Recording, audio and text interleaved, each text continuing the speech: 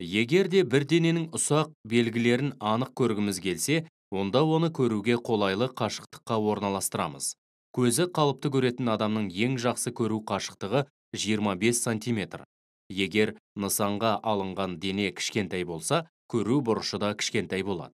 Лупаны пайдаланып көру бұрышын ұлғайта аламыз.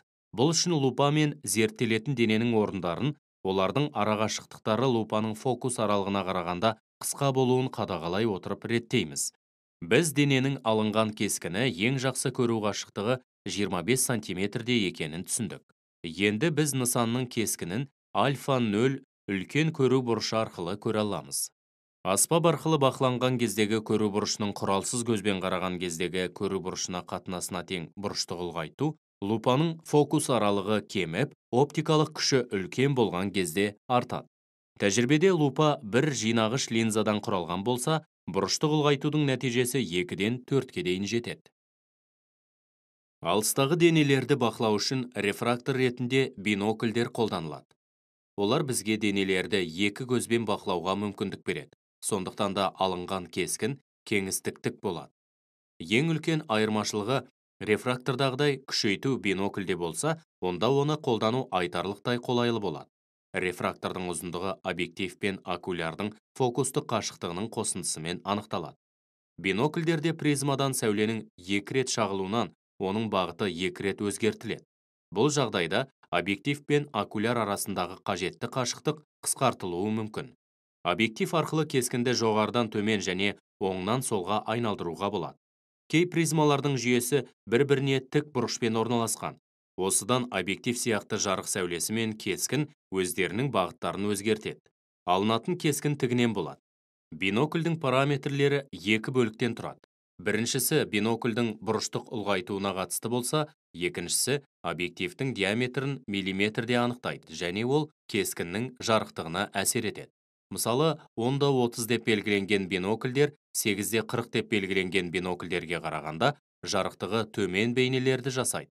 Және артығырақ ұлғайтады. Фотоаппарат объективі жинағыш линзалардан тұрады. Кескіннің айқындығы дұрыс алынса суретке түскен кескін таспада пайда болады. Егер де камераның қақпағы ашық болса онда бұл әрекетті сіз өзіңіз тексере аласыз. Ол үшін таспаның орнына қағазды орналастырасыз. Одан кейін камераның түймесін басып тұрған соң сіз қағазда бейненің қалай пайда болатынын көре аласыз. Кескін шын төңкерілген үлкейтілген болады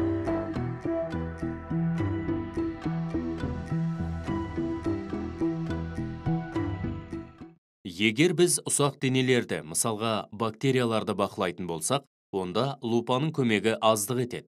Себебі ұлғайтуы өте кіші. Мұндай мақсатқа жету үшін бізге микроскоп қажет. Ең алғашқы микроскоптың үлгісі 16 ғасырда голландия елінде жасалды.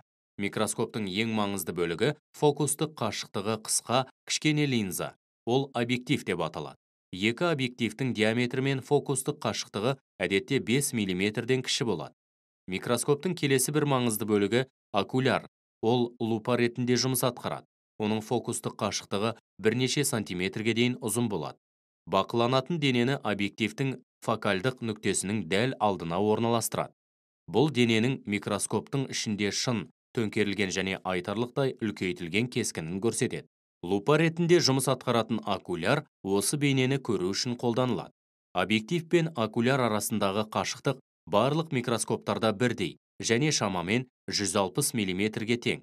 Алғашқы микроскоп денені 40 есе үлкейте алатын дегенмен 17 ғасырдың екінші жартысында микроскоптар 270 есеге дейін үлкейте алатын болды.